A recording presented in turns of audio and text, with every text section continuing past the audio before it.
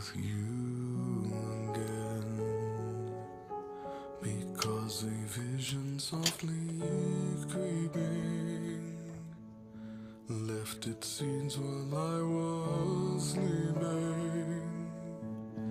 And the vision that was planted in my brain still